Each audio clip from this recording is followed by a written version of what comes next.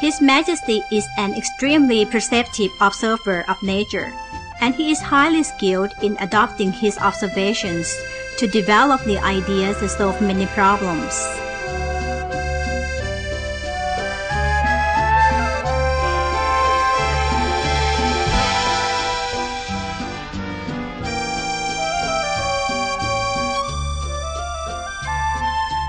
On the 14th of November, during the heavy floods throughout the country, His Majesty advised those concerned in solving the problem that the Monkey Cheeks project provides a solution to the flooding problem in the Bangkok metropolis.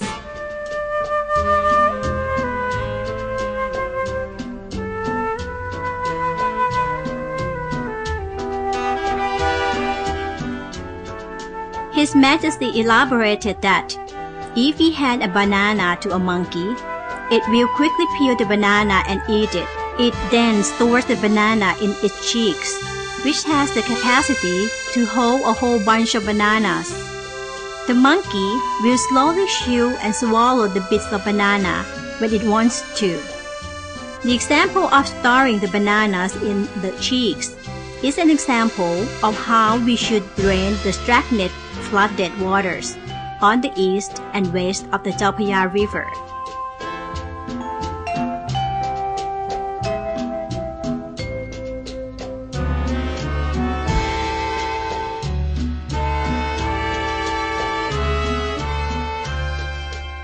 The Monkey Cheeks Project is a water organization system for the flooding season to prevent as well as reduce flooding in the lower Chao River by draining the waterways such as ditches and canals into small reservoirs.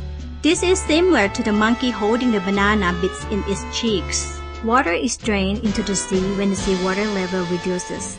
The Monkey Cheeks project is one that relies on nature to solve problems in the flood-prone areas. It demonstrates His Majesty the King's acute awareness of how nature works.